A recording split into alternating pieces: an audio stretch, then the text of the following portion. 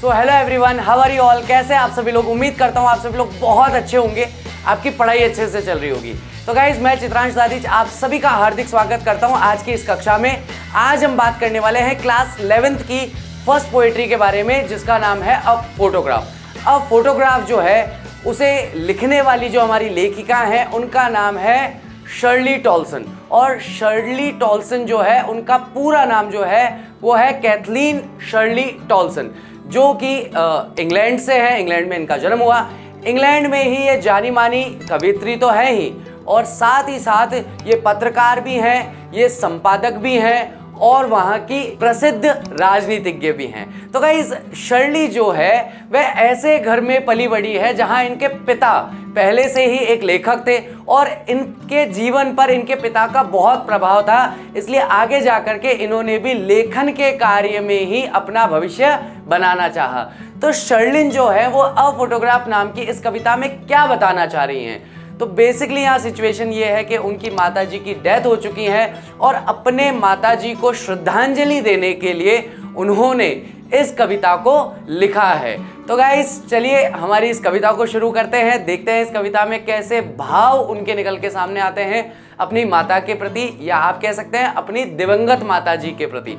चलिए गाइस शुरू करते हैं। तो कविता की शुरुआत में हम लोग देखते हैं कि यहाँ पर कवित्री जो है, उनके हाथ में एक पुराना कार्डबोर्ड आया है। उस कार्डबोर्ड के ऊपर एक फ़ोटो चिपकी हुई है और उस फ़ोटो में क्या दिखाई दे रहा है? उस फ़ोटो में उनकी माताजी जो लगभग 12 वर्ष की आयु की हैं, जब वे एक बार समुद्री तट पर अपनी छुट्टियाँ बिताने गई थी, उनकी, यानी कि कवित्री की दो बहनों के साथ में, वो दोनों बहनों ने एक एक हाथ से उनकी माता का हाथ पकड़ रखा है और हवा चलने की वजह से उनके चेहरे पर थोड़े से बाल आए हुए हैं और वो मुस्कुरा रही है और उनके चाचा जी वहाँ पर एक कैमरे से उनकी फ़ोटो खींच रहे हैं। और जिस जगह वो खड़े हैं समुद्री तट पर उनके पैर थोड़े से पानी में दबे हुए हैं या पानी में थोड़े से डूबे हुए हैं। ये हमें यहाँ पर इस फ़ोटो के अंदर दिखाई देता है और उन्हें याद आता है कि कैसे, कुछ साल पहले मेरी माताजी जो है इस फ़ोटो को देख करके हंस रही थी और हँसते हुए कह रही थी कि देखो,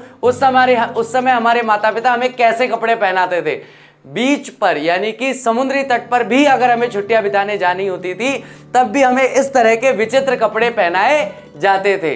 तो इसे देख करके उनकी माताजी हंस रही थी कुछ साल पहले उस बात को। आज जिस दिन कविता लिख रही है, उस दिन कवित्री याद करती है। और याद करते करते उन्हें अपनी माँ का चेहरा देख करके ऐसा लगता है कि कितनी प्यारी थी, कितनी खूबसूरत थी मेरी माँ दिखने में, जब वो खुद बारह वर्ष की थी। तो इन सारी चीज़ों को वो याद करके और मुस्कुराती है। और अचानक से उनका ध्यान उस समुद्र की ओर जाता है, जो बिल्कुल वैसा ही है। जैसा उस समय या उस तस्वीर में दिखाई दे रहा था।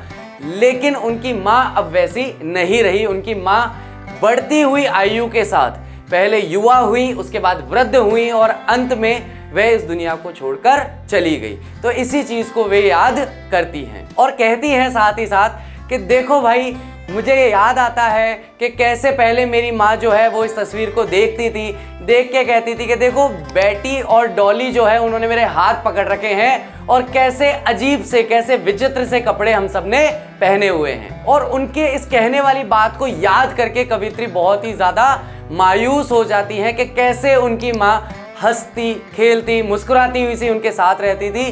लेकिन अब वो मेरा साथ छोड़कर हमेशा के लिए चली गई हैं। और जैसे ही ये विचार उनके मन में आता है, अब वो सामान्य नहीं रह पाती।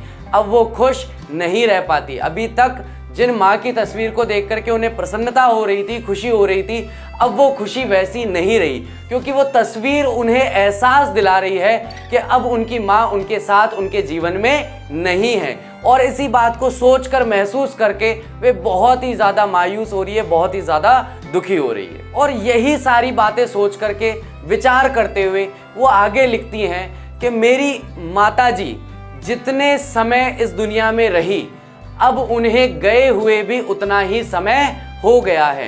यानी कि जितने समय तक वे जीवित रही, उतना ही समय बीत चुका है, अब उनकी मृत्यु हुए। और इस दुख भरी घटना के बारे में मेरे पास कहने के लिए कुछ भी नहीं है, क्योंकि इस दुखदाई पीड़ा ने, इस दुखदाई दुख ने मुझे चुप कर दिया है और मैं पूरी तरीके से साइलेंट हो गई हूँ कि इस दुख में मैं कुछ भी नहीं कह पा रही है इस दुख के बारे में मैं कुछ भी नहीं लिख सकती। इसीलिए कहते हैं कि हर व्यक्ति की पीड़ा अपनी निजी पीड़ा होती है, अपना निजी दुख होता है। हम लोग कई बार जानने की, पूछने की कोशिश ज़रूर करते हैं कि अरे यार, बता, कैसा महसूस हो रहा है?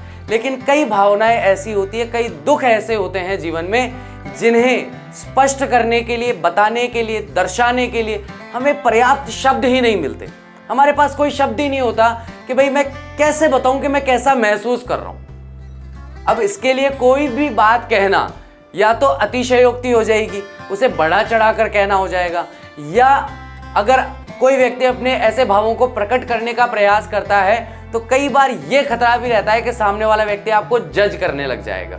तो इसलिए कोई भी व्यक्ति कभी भी हम देखेंगे कि वो अपनी पीड़ा को, अपनी व्यथा को, अपने दुख को सही शब्द नहीं दे पाता और इसी वजह से जो ऐसा दुख है, ऐसी पीड़ा है जो कभी खत्म नहीं होने वाली, उसमें वो चुप्पी साध लेता है। बिल्कुल शांत होकर के बैठ जाता है, मुँह बिल्कुल बंद रहता है, केवल आँखें बोलती हैं।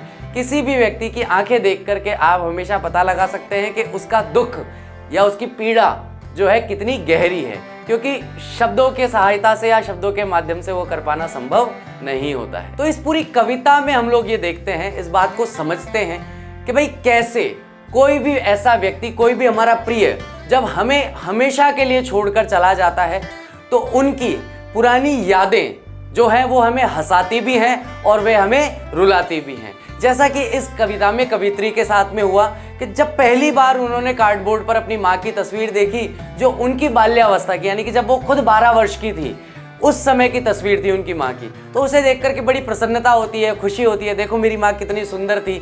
हाँ देखो मेरी माँ एक समय में ऐसे बीच पर छुट्टियाँ मनाने के लिए गई थी। लेकिन जैसे ही इसी के पीछे एक भाव और है जो आपका इंतज़ार कर रहा है, वो भाव ये है कि अब आपकी जो माँ है, वो अब इस दुनिया में नहीं रही है। तो वे खुशी के पल जो हैं, वो ज़्यादा देर ठहर नहीं पाए और उसी खुशी के पीछे पीछे दुख भी खिंचा चला आया। ये हम इस कविता के अंदर देखते हैं। तो अपनी माँ को याद करते हुए कवित्री के द्वारा लिखी गई ये एक श्रद्धांजलि और श्रद्धापूर्ण कविता है, जिसमें वो प्रेम से अपनी माँ को याद करती हैं। तो उम्मीद करता हूँ गाइज़ आज का लेक्चर आपने अच्छे से एंजॉय किया होगा। पोइट्री आपको अच्छे से समझ में आई होगी।